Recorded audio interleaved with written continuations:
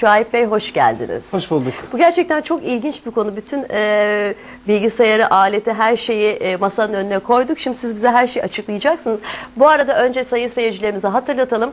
Biz yayında vakit kaybı olmasın diye hemen yayından önce şu görmüş olduğunuz alete ben parmaklarımı soktum. Ve ben şu anda e, sizler için bir kobay vazifesi görüyorum aynı zamanda. Ve benim e, ilk auramın fotoğrafını çekti Şuayb Bey. Ve de burada e, Yani auranın röntgenini çektim. röntgeni mi olmuş oluyor? Yani Röntgeni bir çektiniz. benzetmesi olmasa da Şimdi açıklayayım. Ama seyircilerin her şeyi bilmesine de gerek yok. Biraz sansürlü açıklayayım.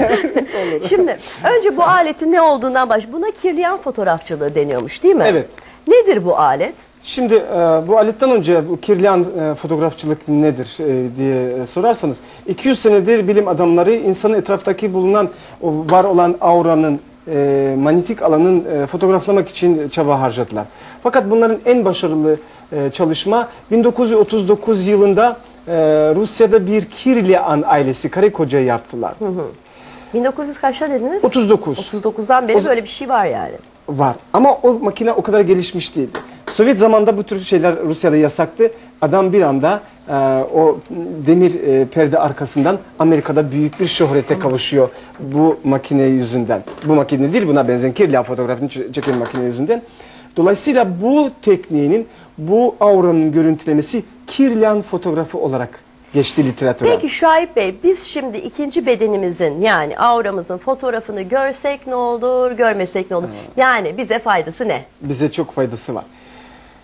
Bir kere e, bir fiziksel bedeni koruyan bir manyetik alanı ne işe yarıyor? Yani aynı dünyayı koruyan bir ozon tabakası nasıl ne işe yarıyorsa bir insanın e, fiziksel bedeni koruyan bir enerji alanı da o kadar önemli. Nasıl ozon tabakası delindi dünyada değişik e, beklemedik dışında çok farklı olaylar çıkıyor. Seller oluyor. e, çok fazla e, tabi afetler meydana geliyor. Hastalıklar çoğalıyor. E, daha bilimsel çalışma yapmadan bir hastalığını adını terimini koymadan diğer hastalığı ortaya çıkıyor. Şimdi bunun özelin, özellikle önemi ben bu makineyle bir parmaklardan almış e, görüntü ve fotoğraflarıyla bütün organizmanın çalışma sistemini kontrol edebiliyorum. Çakraların çalışma sistemini kontrol edebiliyorum ve analiz ederken kompüterde insanın var olan hastalıklar değil benim için önemli olan. Olma ihtimali olan hastalıklar da tespit ediyor bu makine. Peki ne kadarlık zaman diliminde mesela şu anda bir, e, bana yaptınız bu röntgen Evet. demiş olduğunuz şeyi. Şimdi ne kadar da bir yaptırmak gerekiyor bunu? Yani e, şimdi mesela diyelim ki zaten gripim o çıkıyor mu? Bakacağız şimdi. Daha analiz yapmadım. Sesim baksanıza maalesef zor konuşmakta zorlanıyorum. Şimdi diyelim ki Allah korusun bir takım hastalıklar olabilir diye çıktı. E bir 6 ay sonra belki başka bir hastalığı kapma potansiyeline sahip olacağım. Şimdi bakınız. Ee, burada bir organ hastalamaya risk taşıdığını gösteriyor bana. Ben hastalığı o organın üzerinde e, çalışıyorum. Çünkü bu m, e, teknik bana hangi organa ne müdahale etmesi gerektiğini, hangi meridyan çalık e, meridyan üzerinde çalışması gerektiğini, hangi çakranın tıkalı olup hangi çakranın üzerinde çalışması gerektiğini söylüyor, gösteriyor zaten bana bunu. Anlatabiliyor muyum? Ve bir e, hastalık bir günde oluşmaz. Kronikleşe kronikleşe oluşur. Yani bir başlangıç noktası vardır. Yani bir bir e, e, hastalık e, eğer bir insan duvara çarparsa yahut kazada geçiren travmadan sonra bir yeri kırılırsa evet o zaman o bir günlük oluşan bir travmadır. Onun dışında hiçbir hastalık böyle e, hemen e, dün e, başladı da bir gün artık kronik bir hastasıyım dinilmez. Bir noktası vardır onun başlangıç noktası. Onu tespit etmek en önemlisidir. Anlatabiliyor muyum? Burada tespit ediliyor. Mesela bir sene sonra başka bir şey çıkabilir mi? Yani Abi bunu e, check-up gibi senede bir kere mi Bir yaptırmak senede gerekiyor? bir kere mesela ben hastaları tedavi başlamadan önce e, check-up yapıyorum ve tedavi bittikten sonra ve görüntü olarak nereden nereye geldiğini Bu şimdi gösteriyorum. benim neyim? Aa, şimdi bakınız ben onu da ayrıyeten söyleyeceğim. Bugüne kadar e, yüzden e, fazla hastaların üzerinde check-up yaptım. Bu kadar muazzam ve dengeli bir e, insan e, fotoğrafını avranı Maşallah çekmemişti. değil. Ama maşallah. Dostlar düşman Bir var tahta. bizi seyrediyor. Şimdi bakınız burada önemli nokta şu.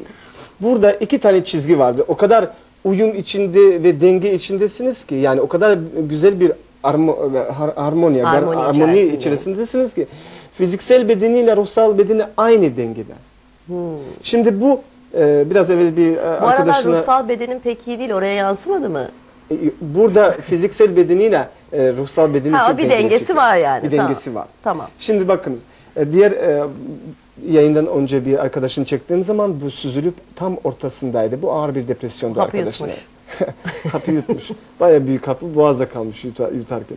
Şimdi m, önemli olan bu iki e, unsurun denge haline oluşması.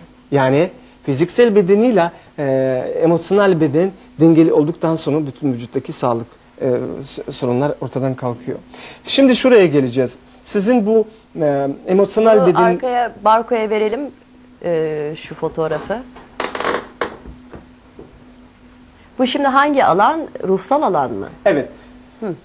Şimdi bakın sizin e, vücut e, Şimdi pardon sözünüzü kestim. Şu olması gereken aura değil mi? Hayır.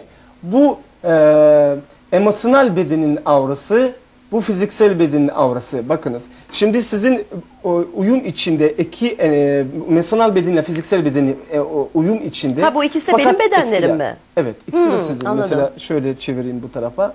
Bu, şimdi analiz edeceğim size. Belli bir sorunlar var, yok değil. Onları şimdi size izah etmeye çalışacağım. Bakınız. Burada eee, sizin omurgadaki geçen enerjinin azaldığını gösteriyor burada. Çok mu yük var omuzlarımda? Omurga boyunla bel arasındaki olan uyum yani çakraların biraz tıkalı olduğunu gösteriyor. Ve bu çakraların tıkalı oluşundan sonra kuyruk sokumundan e, geçen enerji azaldığı için oraya yakın olan e, organları ve meridyanları etkiliyor. Hangi çakram kapalı? Kök çakram mı? Sizin sizin kök çakrası kapalı, göbek çakrası kapalı ve göğüs çakrası kapalı. Üç çakra 3'ten kapalı. 7'den Evet. 3. E 4'ü Evet. sağlam. Dördü sağlam. Yani bir şeyden Tamam. kurtulmuş oldunuz. Açarız onu, Şimdi önemli burada biraz da e, e, damar sisteminde dolaşımda biraz sorun olduğunu gösteriyor sizin. Evet. Ona dikkat Bu etmesi neye gerekiyor. alamet? Yani bu e, diyor ki size ya hareket az e, e, ha- hareket az olduğundan dolayısıyla besleme zayıflığından dolayısıyla yani e, yanlış besliyorsunuz. E işte Biraz yağlı tuzlu beslediğim zaman besle- dolaşın e, bir bunu kontrol ettiğim zaman kolesterol dahil çıkabilir mesela bu, bu e, olabilir. Şimdi ben seyircilerimize tekrar hatırlatayım televizyonu yeni açanlara. Ben e, şu anda kendimi kobay olarak parmaklarımı bu aletin içine soktuğumda sizlere sadece Şuayb Bey'in ne yapmış olduğunu anlatmak üzere yoksa niye kendini test ettirtiyor diye herhangi bir şey geçirmeyin aklınızdan. Peki e, doktorlar bu sisteme inanıyorlar mı? Tabii ki inanıyorlar. Zaten bu Rusya'da bir e, St. Petersburg'da bir üniversite bunu, bu makinenin üzerinde çalışıyor. Zaten bu e, Türkiye'ye ilk defa getirdim bu yaz ve çok yeni bir makine bu Türkiye'de. E, ve e, düşünün e, sayısız profesör, sayısız e, doçent ve asistanlar bunun üzerinde O çalışıyor fotoğraf ve kalsın orada. E, ve e, bütün dünyadaki bilim adamlar, doktorlar oraya gidip orada eğitim alıp bu makineyle kendi memleketlerine dönüyorlar.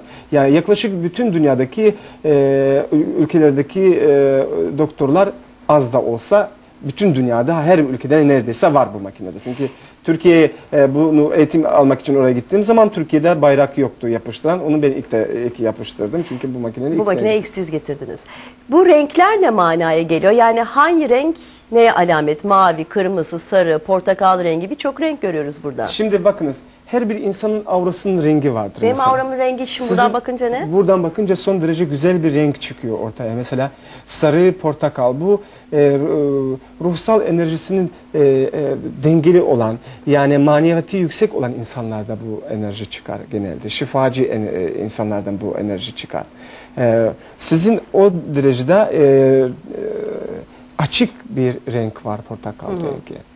Bu e, tabii e, insanın uzaktaki olan insanı da etkiler bu, yakındaki olan insanı da etkiler. Mesela sizin bir televizyon karşısında seyreden insanlar da bunu algılayabilir, Pozitif anlayabilir. enerji. Pozitif Hatta bu enerji. saatte beni seyrediyorlar, doğru. Yani e, bu, bundan siz e, hem karşıdaki olanları insanları etkiliyorsunuz hem bu enerjiyle e, işinizi çok daha e, verimli ve olumlu yapıyorsunuz. Bu çok önemli Peki o bir şey. mavi ne etraftaki? Bu mavinin enerji yani bu bir plazma. Her bir organizmanın etrafında bir e, enerji